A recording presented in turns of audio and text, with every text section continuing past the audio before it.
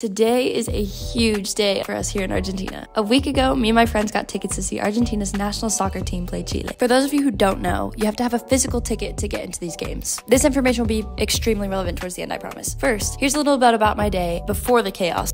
All I have to say is don't leave anything important in an Uber. I woke up bright and early, made some breakfast, got ready, walked to the bus stop, got on the bus, and took it all the way to the Verto Study Center. I only had psychology and statistics. I went with some friends to get coffee, we looked up Airbnbs for our next weekend trip, and then I had a meeting with Mateo, interviewed some friends for a video. At this point, I realized I was getting really hungry, so I went off to go find some food. I found this really cool empanada place, and I got like two empanadas for $3, maybe less. They were phenomenal, gotta say. Now, this is where the night gets a little rough. Me and my friends decided to meet up before the game so we could all walk in together and find seats. But when I arrived at the meetup point, I had just gotten out of the Uber, closed the door, Uber drove away, and it wasn't until then that I realized my ticket is still in the Uber. At this point, me and my friends are doing everything we can to try and call Uber, get my ticket back, and get me into this game. For these games, you have to go through multiple security checkpoints. They make sure your ticket scans, they check your ID, pat you down, and they even use a UV light to make sure your ticket is authentic. Now, obviously, you know I made it into the game based on this footage, but I have me from three days ago to thank for that. You see, when the ticket showed up at my homestay, I instantly took a picture, thinking that maybe it would come in handy later, or just to post on Instagram because it looked really cool.